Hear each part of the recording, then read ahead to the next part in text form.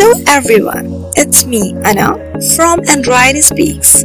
Today we are discussing about Huawei P20 Lite now leaks in a live images. Huawei is announcing its flagship P20 or P11 then naming is not 100% known at the moment.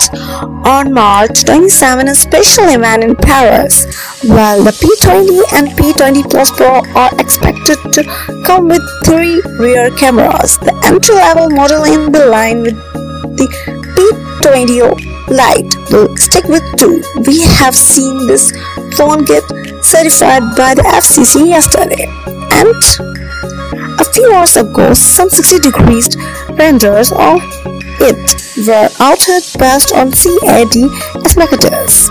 To it, to that apparatus of P20 Lite leaks, we now have some live images to show you. They show the iPhone 10 inspired vertical arrangement for the dual rear cameras and three hump as well as a notch at the top of the screen which is smaller than Apple's most expensive phone.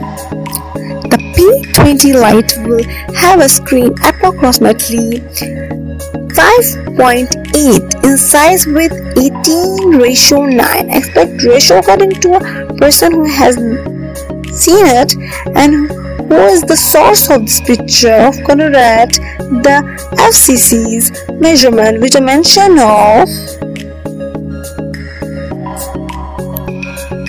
2280 by 1080 resolution and 6.1 size within the 19 ratio 9 aspect ratio. It may just be that the aforementioned person amused he or she was looking at 18 ratio 9 screen since those are very popular with Chinese smartphone makers to complicate things when a further those 3D renders from earlier today talked about a 5.7 display.